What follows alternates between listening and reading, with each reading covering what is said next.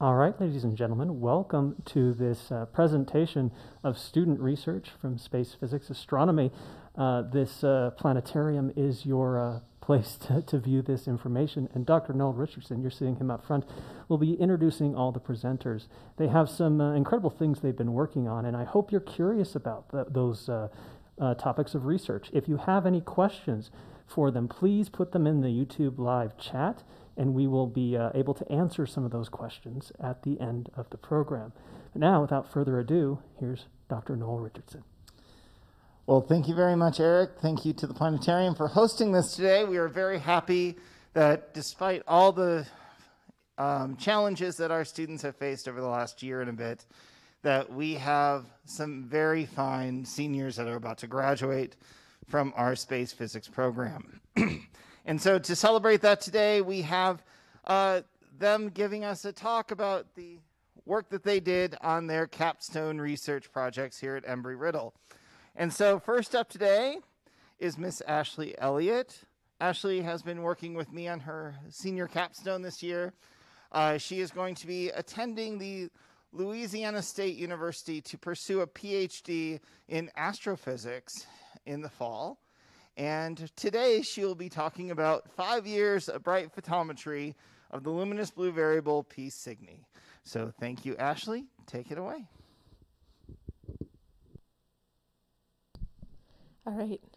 We are, okay, we're working. All right, uh, so thank you, Dr. Richardson. Um, and yeah, he already kind of went over what I'm going to be talking about today, but um, we will go ahead and get started. All right, so before get into the nitty gritty of what I did over the last year, I should probably tell you what a luminous blue variable star is, um, because it is pretty relevant to, uh, well, the star P Cygni. So, a luminous blue variable star is a massive post main sequence star. It is uh, the main characteristic of a luminous blue variable is their a geyser-like behavior, which basically means um, it is uh, there's a dramatic increase in brightness and then it slowly decreases over time and also during these dramatic increases in brightness there's also a mass ejection um, which is why we call them eruptions. So it also has mass ejection light brightness. It's pretty cool to see of course. We haven't really seen one in my lifetime i haven't seen one in my lifetime but i think it'd be pretty cool to see and also, a luminous blue variable star also has what's called a Doradus phase or phases. And so, what these phases are is they are the time periods without interruption, and they do exhibit brightness variability, which also means that the star is appearing dimmer in the optical, but also appears hotter in the temperature, in its temperature. So um, we have some examples of some cool luminous blue variable stars. So over here we have uh, AG Carinae. We have HD 168625 in the middle here, and then we also have Eta Carinae, which is the topic of many of Dr. Richardson's other students. Um, so, of course, I had to put that in there. Um, so, here's some really pretty pictures of other luminous blue variable stars. So, some brief history on P Cygni. So, its first eruption was discovered in August of 1600 by Willem Blaeu. The second eruption was seen in 1654, and since then it has been the main focus of many observational studies to determine its photometric and spectroscopic properties. And here you can see in the historic light curve um, the two main eruptions. So for those that are live in the audience, this big bump, that first big bump that you see is that first eruption, and the second bump that you can see is that second eruption. And so pretty cool to see. And now on to what I've actually done over the last year. So, over the last year, I have reduced about five years of BRITE data, and the BRITE satellite is uh, stands for Bright Star Target Explorer, and it is a uh, combination of about eight or nine satellites, um, and it uh, basically just observes all the sky, and it's pretty cool. And so I took that data, and I have uh, the years 2014, 15, 16, 18, and 19, and reduce that down to be usable. And then I also use the AA VSO, which stands for the American Association of Variable Star Observers, and use that data to scale the data down also to be usable, more understandable, and you can see what this looks like in my next slide. And once the data was now usable and makes more sense to perform more analysis on it, I used a program called Period04 to perform Fourier analysis on each year and also all of the years together. And from this Period04 and from the Fourier analysis, uh, I was able to get frequencies and out of these uh, light curves. And so from these frequencies, we needed to determine the feasibility of them. And so we wanted to make sure that, oh yeah, okay, this is a real frequency. This is not a real frequency. This one, yeah, probably not. And so I did that as well. And then from these known frequency, uh, we also compared com- uh, known frequencies to the frequencies that I came up with from Period04 and determined if there was a presence of any possible period, which is important because there really hasn't been too much of uh, significant periods for P Cygni. It's been the topic of discussion since, well, the star has been discovered. So uh, we really wanted to see if we could see anything significant in the data. And then, of course, I'm also in the process of writing a paper, which is to be submitted this summer with hopes of being published soon. So, woo. All right, so here on this plot, my lovely all years data. So we have 2014 right at the top, all the way down to 2019 at the bottom. And so this is my reduced and scaled down data. And so as you can see, it's a little wobbly, but it's, it's really pretty. Very nice data. And uh, it does span from about May 1st to November 15th of each year. And so we have a pretty good chunk of data to work with for each year. And this was also taken from plenty of the, most of the BRITE satellites that we, our data that I used was from Toronto.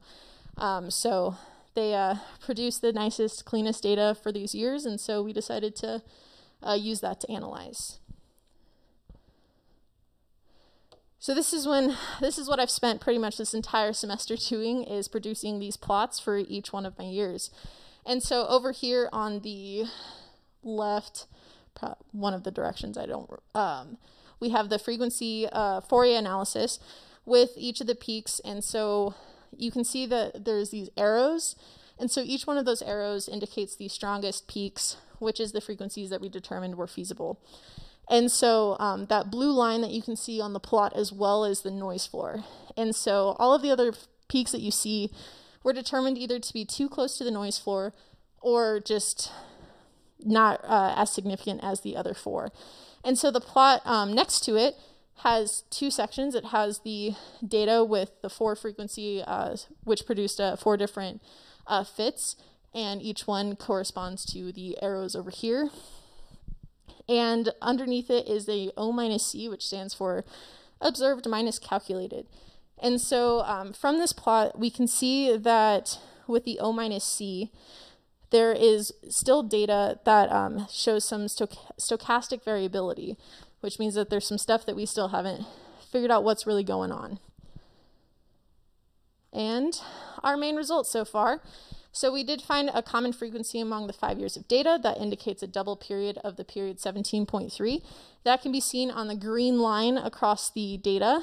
And also, um, this plot does show the um, amplitudes, uh, that's the different sizes of the different amplitudes. So it does correspond to all those sizes. And we also further confirmed the 500 day timescale that has been determined previously. And so we're pretty excited about these results. And that concludes my presentation.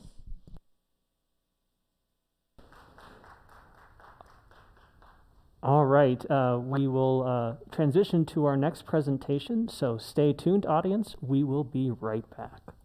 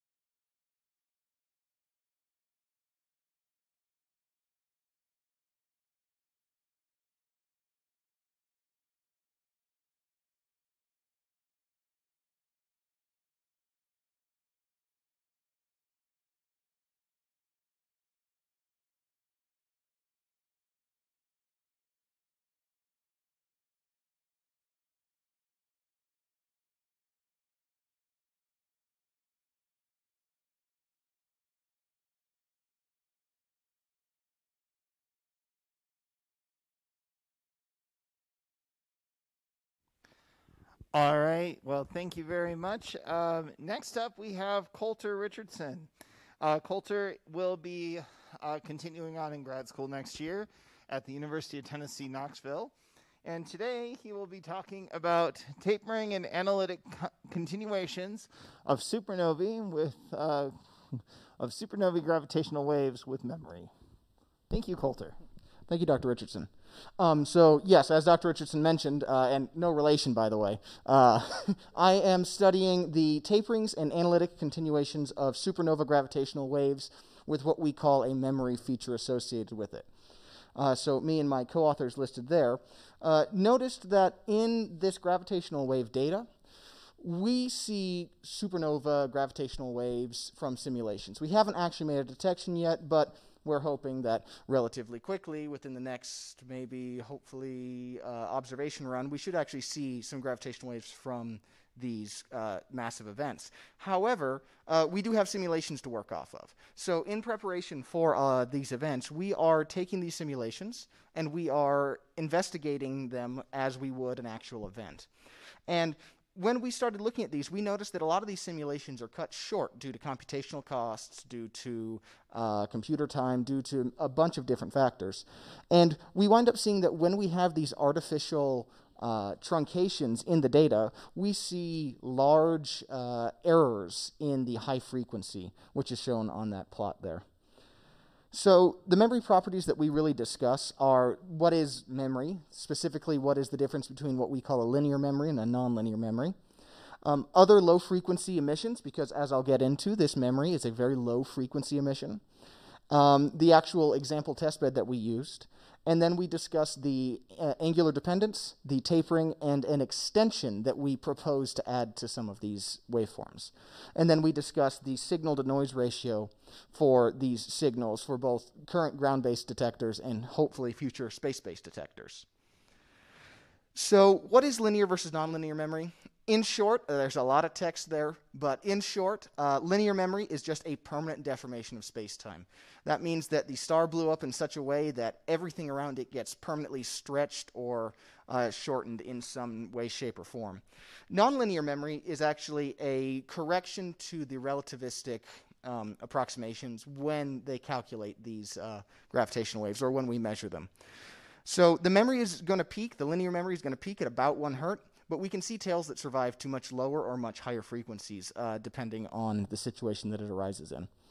The next two low frequencies that we see are from the standing accretion shock instability, or that SASI, and the protoneutron star oscillations, or what we call the G mode.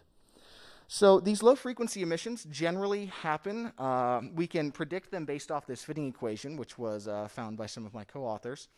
And we see that generally these frequencies are much, much higher than our gravitational wave memory. We see that the standing accretion shock instability has a minimum frequency of about 125 hertz, and the G mode has a, frequ- a minimum frequency of about 430 hertz, which is well above our give or take one hertz range. So the exact uh, simulation that we used is uh, this W152 simulation that was performed uh, by the Albert Einstein Institute for Gravitational Physics in Germany, and it represents a 15 solar mass star that is non-rotating. Um, we do see two different sections in the data. We see what we call phase one and phase two. Phase one is a fully three-dimensional simulation that actually includes a ray-by-ray transport for neutrinos. However, in the second phase, where the computation goes on for much longer, this uh, neutrino approximation winds up getting very, very computationally intensive, and so it gets very, very computationally expensive. So we wind up looking at these different phases. Phase one, which includes both the actual explosion of the star and the explosion of the star due to neutrinos, and the phase two, which just focuses on the explosion of the star. So we see very angular, uh, a lot of angular variance in this explosion. We can see that depending on where we look at it from, we wind up having different amplitudes for this permanent deformation of space-time. When we plot these using sky maps, we can actually see that the flow, or the actual explosion, the material that's leaving the star is rather regular. However, for the neutrino and for the actual signal that we expect to find, it is not as regular and much harder to fit. However, we present three toy models, one of them being prolate or a cigar, a cigar-shaped explosion, one of them being oblate or a pancake-shaped explosion, or spheroid, which is some combination of the two of them. And we find that, well, based off of the simulation, which is on the top row, and our models, which is on the bottom row, we can detail a lot of this angular variability quite well. We miss some of the finer structures, but we can accurately model this uh, permanent deformation of space-time. We do this by using a least square method or finding the difference between our model and the simulation and then seeing finding the absolute minimum for those parameters. So with these simulations being cut off due to the computational expense, we wind up inducing these really, really high frequency events. So we propose to add a tapering or a cosine that kind of just brings the signal down to zero. And as we can see in this plot, for our signal, we can accurately just slap on a cosine, and we see a lot of variability in the actual light cur- or the uh, frequency curves itself. And as you can see on the right-hand side of that plot, the amplitude goes down when we add these taperings. However, we bring the amplitude back up on the left-hand side. So in order to compensate for all of this, we actually propose an extension as well, specifically for the neutrino signal, because we wind up seeing that, well, phase two, it didn't include the neutrino signal.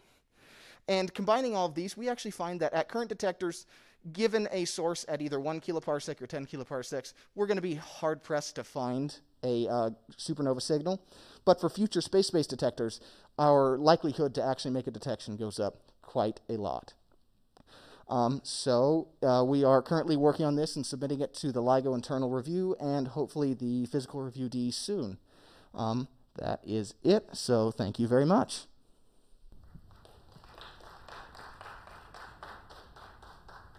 All right, once again, we'll take a quick break while the next presenter sets up, and then we'll be right back.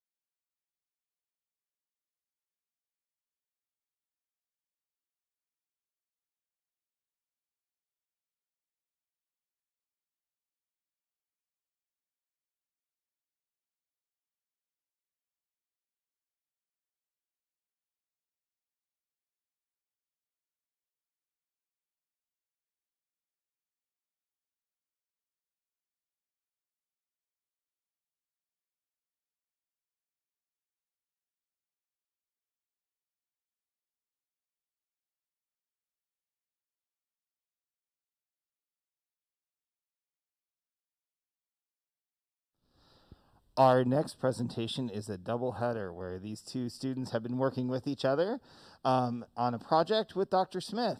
And we have Austin uh, Luttrell and Ryder Moreno. Austin is about to go off to grad school for aerospace engineering at uh, CU Boulder. And Ryder is going to pursue a career in ornithology, uh, starting with a uh, position at the Highland Center this summer. And so, congratulations to them and we look forward to hearing more about your project entitled Investigation of Low Power Electrothermal Thrusters. So take it away. All right, thank you, Dr. Richardson. Um, so, like he mentioned, um, we'll be explaining our investigation of low power electrothermal thrusters. Um, so, Ryder and I are actually part of a larger team um, called Project ET, um, studying various types of electric propulsion here on campus. Um, so I am a co-team lead, and Ryder is also a co-team lead, um, and we'll go ahead and get started. Um, so this is a quick list of just our current team members, and we have several underclassmen um, on the team that will be taking over for us in the fall. Um, and Ryder is going to explain our project goals. Okay, so just going briefly over uh, the project goals for our semester and our year being seniors. Uh, basically, we wanted to design, build, and test a low power electrothermal thruster has been done by teams in the past, but we wanted to redesign it and get some better operating parameters. We wanted to complete construction and design of the thrust stand, uh, which again has been designed by previous years, but we would like to keep keep it going and get that so that we can eventually then integrate both systems into the vacuum chamber in the space system lab and hopefully measure quantitatively some thrust outputs from our um, electrothermal uh, propulsion systems. All right, so you might be asking why electric propulsion. Um, so electric propulsion is a type of exotic propulsion um, that is very commonly used on satellites. Um, so what electric propulsion is, is it uses electricity to produce um, thrust. There are various types of it. Um, so when you implement this system onto a satellite, um, it produces very low levels of thrust. so it's not very helpful for getting out of the atmosphere, but it is great for smaller maneuvers such as repositioning of satellites, orbit transfers, and it also has a great ISP, which stands for specific impulse, which is essentially the space gas mileage for these kinds of air, air spacecraft. Um, so because it has a great ISP, um, there's also a ton of potential for deep space travel with these systems. Um, and so there's a lot of research going into this area currently. Um, so the current, the specific type of thruster that we're researching is an electrothermal thruster. So what that means is that it uses electricity to heat up and ionize different types of propellant um, to actually produce this thrust and make the system go. So this is just a brief kind of picture of a very general ArcJet design. This is not our specific ArcJet, but I'm just going to kind of, I guess I should say, our type of electrothermal thruster is an ArcJet. And so basically we start on the left here with electrical power in. We go and put a bunch of high voltage onto this tungsten cathode. Um, and then we flow nitrogen in to the it'll kind of flow along the tungsten rod and then eventually we have this brass casing is grounded so we also have a boron nitride insulator along the tungsten rod to prevent arcing where we don't want it to occur and so we should get arcing right around here where this is called the throat of the engine and so we'll get arcing there at the throat nitrogen will get pushed through the throat through the electrical arc and then that'll be like austin said the gas will be ionized it'll have higher kinetic energy, higher velocity, and you'll get more thrust out of the nozzle here when the gas pushes against the nozzle and pushes the thruster forward. All right, so this is the previous ArcJet design. Um, so, you went, yeah. sorry. Um, so this is our ArcJet Mark III. So this was the previous design um, from last year. Um, so I'm going to point out a couple things on it, um, and then Ryder will go into explain how we changed this design. So on the left here, you can see this is our nitrogen inlet section. So like Ryder mentioned, nitrogen is our propellant. So nitrogen is flowed in through here, and it goes through the system, and the next stop is the boron nitride insulator. So on the left here, this is the current, or the previous geometry that we had for this insulator piece. So as you can see, it's this large conical cut um, because this piece is a cylinder. And so as the gas flow comes in on this left side, um, it actually expands and diffuses into this piece and then converges back down to the throat. So there were a couple problems with this, um, but the primary one was actually how small the throat area was. Um, they were having a lot of difficulties with getting proper arcing across this system um, onto the brass nozzle piece. Um, and so we changed our design um, to help alleviate that concern. and it was also preventing a lot of the nitrogen flow actually going through the system. So this final piece, the brass nozzle section, like I mentioned, is where the actual nozzle is. Um, so the nozzle looks very much like just an inverted um, design for this, and so the gas actually expands out of it and then produces thrust out the back. So two primary concerns that we used in determining whether we wanted to redesign this or not is that we wanted a more streamlined design um, because there were several complications on the nitrogen inlet section. Um, on this piece, um, that we were getting unwanted arcing across um, this part and the actual um, screws that used to mount it. Um, and then we also wanted to reconfigure the geometry of the boron nitride insulator to improve thermal efficiency Um, and to alleviate those arcing complications. So now I'll kind of talk about our design, which we, Austin and I designed, and then we had produced by the machine shop here on campus. And so again, starting at the left here, oh man, this controller is just too much for me. So again, here's the nitrogen inlet section, and you can see it's much more, it's much simpler than the previous design. So we like that because the nitrogen has to travel less distance, it'll lose less velocity and less kinetic energy. Um, and so we'll have more energy when we want to expel it and get the thrust that we want. Uh, next up, we have the boron nitride insulator, which again, the geometry is here on the left, and you can see that the uh, section is the same diameter for quite a while until we finally compress it down into the throat section. And again, that diameter matches up with the nitrogen inlet section so that the gas doesn't have to expand and diffuse and lose energy to the uh, environment. Again, more thrust, higher energies, etc.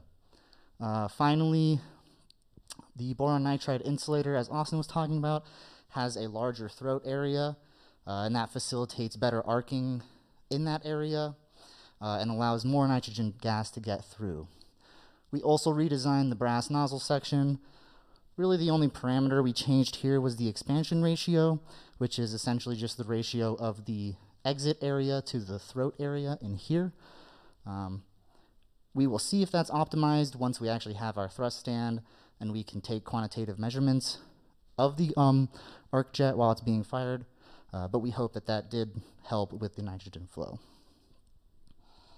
So, um, our we just recently in the past two weeks um, started ArcJet testing, and so because we don't currently have a thrust stand to take thrust measurements, our testing has been primarily um, qualitatively based. So we've wanted to adjust various parameters to ensure that we get stable and sufficient arcing across the throat area, um, as well as adjusting the nitrogen flow, um, and so we can get proper plumes out the back um, that will hopefully produce um, solid levels of thrust. So kind of the big three main things that we've varied. Um, we varied the wattages supplied into the system.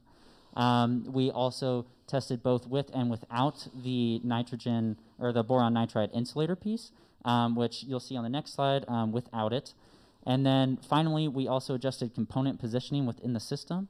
Um, so that was primarily just our tungsten rod cathode um, and varying the position in relation to that throat area um, to see how far back we can get stable arcing with allowing maximum levels of nitrogen flow through the throat. Okay, so on this side, we actually have some pictures of testing that we did uh, these past couple of weeks here in the Space Systems Lab. So both of these pictures were taken under the same exact operating um, conditions. And so that was 600 volts uh, across the tungsten rod to the brass, um, around two to three torr of pressure, which one atmosphere is around 760. Up here, we're around 640. Um, and then, but the one difference that we had was on the left side, we have a nitrogen flow rate of around 9 grams per minute, and on the right side, we have a nitrogen flow rate of around 5 grams per minute. And so, as you can see, the one on the right is much more streamlined. And so that makes us think that most of these particles are being shot out directly to the left, or sorry, the right, which means that you'd get a force vector onto the engine directly to the left. Um, on the left side here, there's much more gas being pushed through. It's kind of diffusing and being pushed in all these directions. So even though we have more mass flowing through the system, we might not get as much thrust as we would with the right. But again, we need to have our thrust stand in order to uh, quantitatively and definitively say whether or not um, we get more thrust with a lower flow rate or vice versa. Um, and also, both these pictures and these were, um, were taken while the thruster did not have the boron nitride inside. So this is sans boron nitride. So you've heard us mention several times already um, about our thrust stand. Um, so this was actually primarily designed by the previous um, capstone last year. Um, however, we did make several design choices and changes to it, um, as well as just some uh, errors in um, sizing and things like that. so I'll kind of just briefly explain how this thrust stand works. so you mount the thruster on the top here um, on these two mounts here, and it is actually an inverse pendulum design. So as the thruster thrusts on the top, this part will lean back into a measuring device here, um, and then it'll output a thrust measurement. Um, so it is highly sensitive, as indicated by the name, um, and so we're hoping that we can actually get some really accurate measurements from these low power um, thrusters that we'll be testing. Okay, so we've kind of been discussing what we've been doing and what the past has been doing, but now we'd like this project to continue on on campus as it's been here for multiple years. And so right now we're kind of continuing work on optimizing the ArcJet thruster. And then definitely once we get that thrust stand built, that's our next goal to be able to quantitative, quantitatively measure um, our thrust outputs. So long-term goals um, past just this next year or two um, are to kind of branch out, experience more types of thrusters and propulsion. Um, so very specifically, Dr. White here on campus actually has a Hall effect thruster and that we hope to do a collaboration with him and his undergraduate research project. Um, we also want to do a future collaboration with EagleSat and actually implement one of our thrusters onto their CubeSat satellites. Um, that is probably a pretty long-term goal, um, but we do hope that the project will continue for many years to come. So I know questions will be left for the end, um, but we also have our emails up here in case you have any longer questions that you think of after the presentation. So thank you so much, and Thank you. have a good day.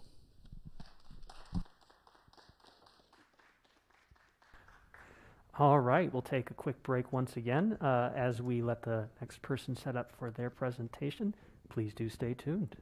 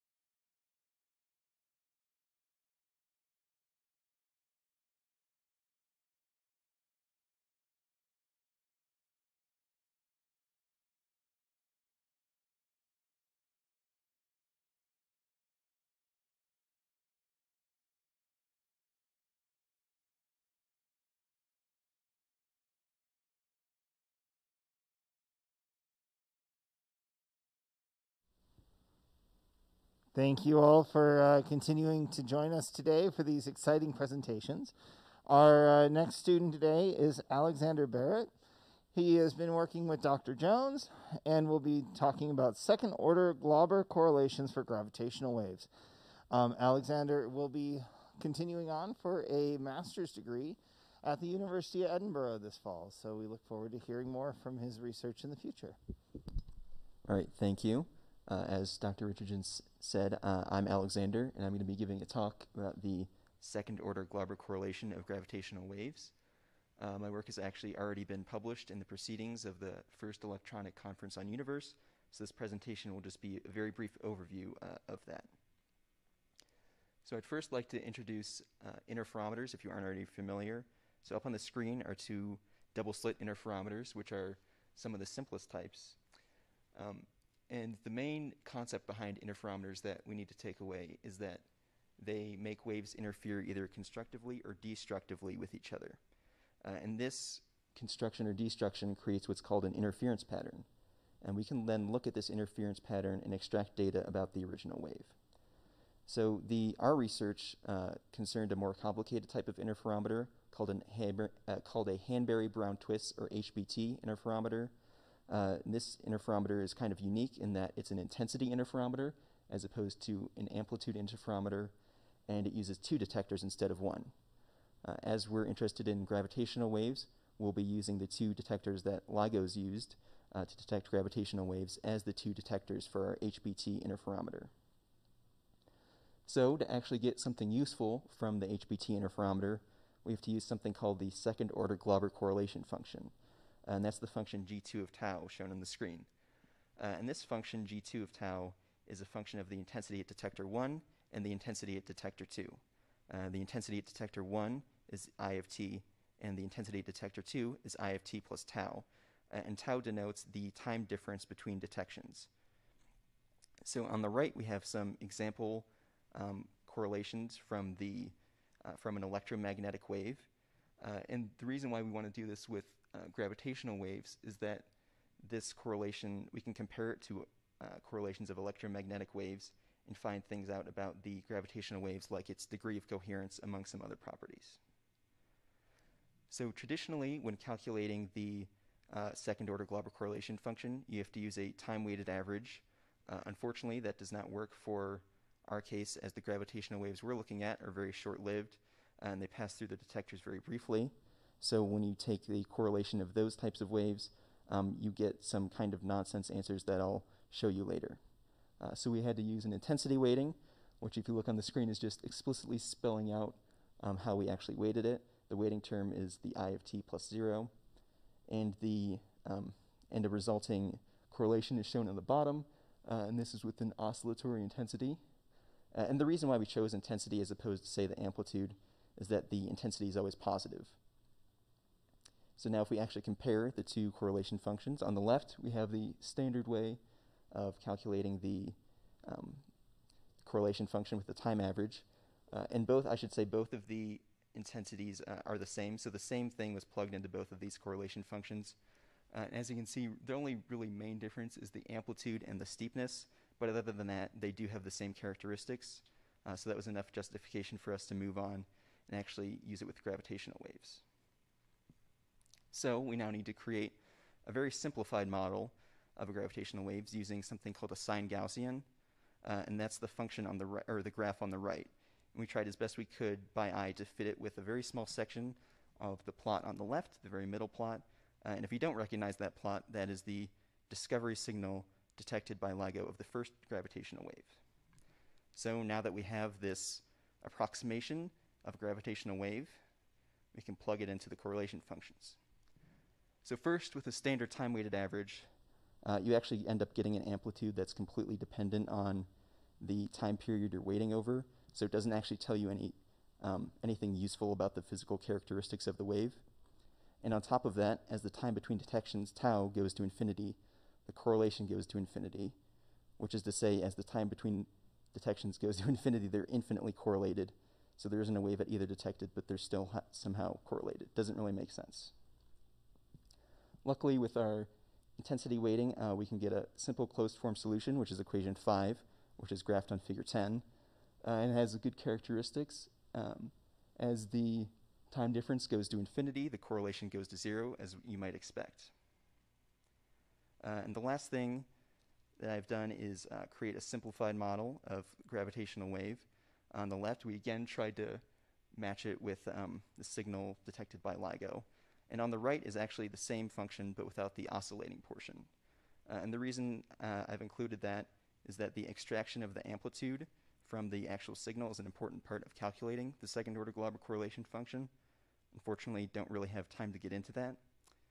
Um, but I've included it just to make sure I remember to say it. Uh, and then lastly, we have the equation on the bottom, which is just a complicated way of saying this gravitational wave uh, is made up of three parts um, from a black hole merger, which is or an inspiral merger, and uh, ring down phases of a black hole merger. Uh, and that concludes everything that I've done.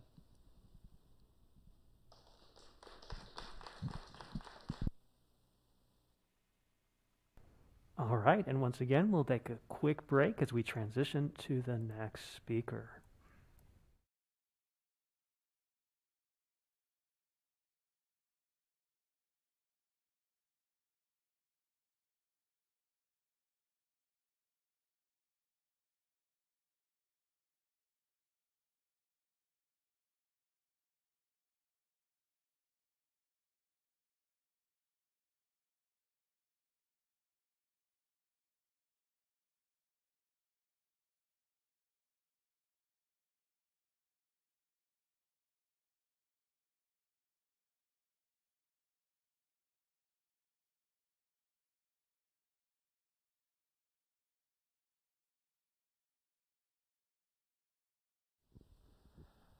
All right, and our last speaker for today to celebrate our capstone students graduating this spring semester of 2021 is Nate Treadway.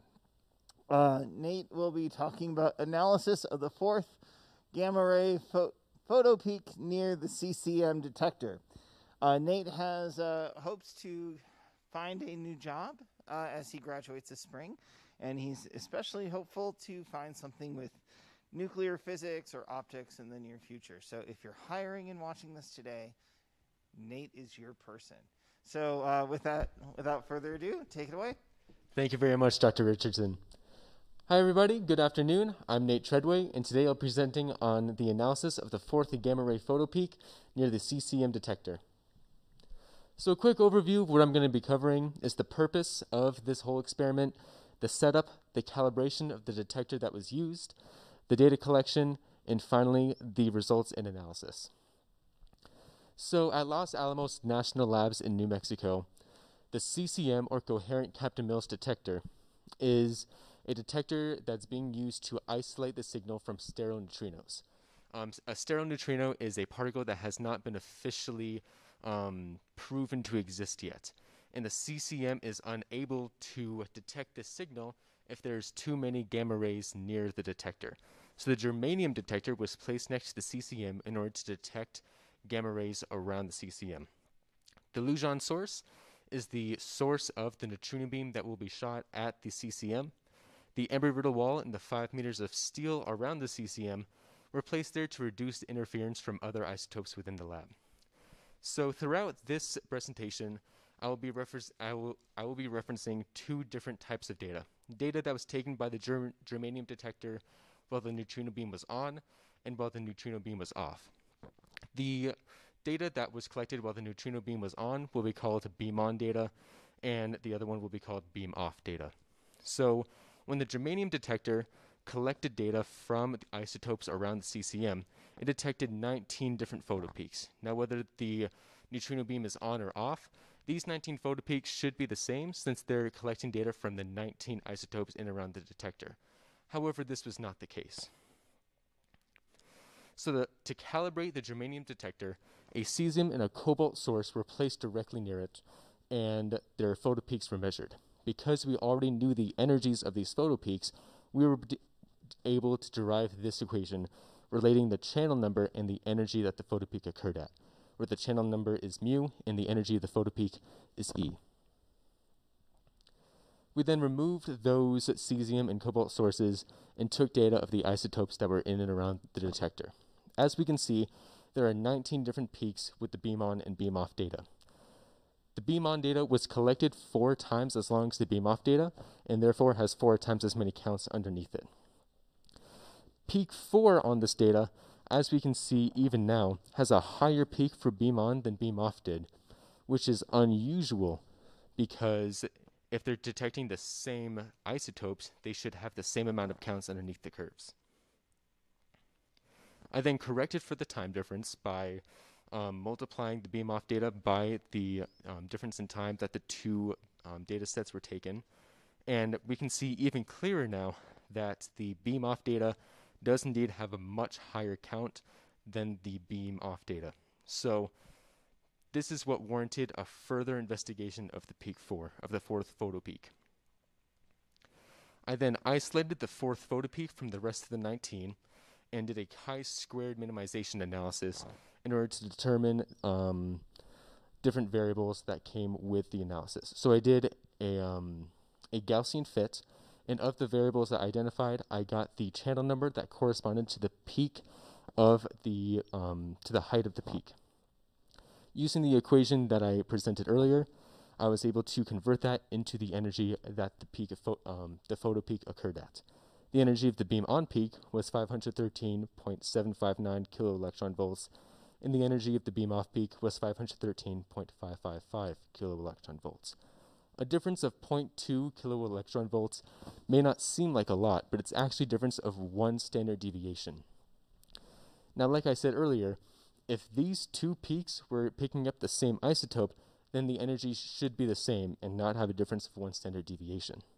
So it's possible that they are indeed picking up different isotopes.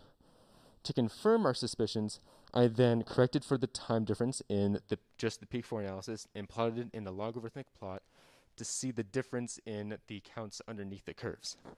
Even after the time was corrected, the beam on curve has four times as many counts under, underneath it than the beam off. So it's picking up a lot more gamma rays than the beam off um, data is. This confirmed our suspicion that the beam on and beam off data were indeed picking up different isotopes. I then, since I now knew that I was looking for two different isotopes and I knew what the energies of these isotopes were, I started looking at nuclear data tables. I searched for an energy range close to what um, I had found earlier. And to narrow down which isotopes I was looking at, I also included isotopes that had a spin angular momentum of um, a low spin angular momentum. So the reason I was looking for isotopes with a low spin angular momentum is because those isotopes are more likely to naturally occur. These are the four isotopes that were most likely to be causing that um, large peak for beam on, and gadolinium 153M is highlighted because of those four, it is the most likely to cause this discrepancy. What ended up happening is the neutrino beam, when it's turned on, excites a nearby source of gadolinium into the 153M state. Then, after 3.5 microseconds, this isotope of gadolinium then decays, and as it decays, it lets out a gamma ray, which is then picked up by the germanium detector. Because there's so many of these decays happening at once, the germanium detector picked up a lot of these counts, resulted in a, resulting in an extremely large peak. For the beam off isotopes, gadolinium was once again the most likely isotope to be causing this. And this is because it has a stable lifetime, which means that it would be in both the beam on and beam off data, but we couldn't see it in the beam on data because it was overshadowed by all of the gadolinium 153M decaying. Gadolinium is also in and around um, the lab at, at Los Alamos. So it, there's an extremely high likability, there's ex- extremely high um, chance that there's gadolinium in and around where um, this testing is taking place. Therefore, in conclusion, gadolinium 153M is the cause of the discrepancy in the um, peak in the fourth photo peak. Are there any questions?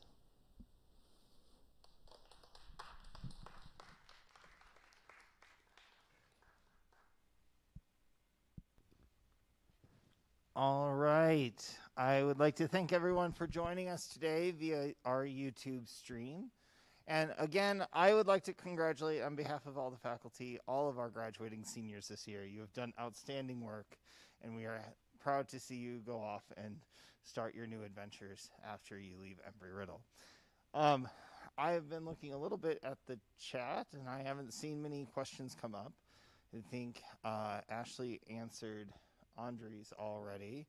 Other than that, I think there was uh, just another comment about other types of propulsions that we may want to consider in the future for your project. Um, but other than that, I would just like to once again, unless Eric tells me that there is something coming in right now, um, I would just like to once again congratulate all of our graduating seniors.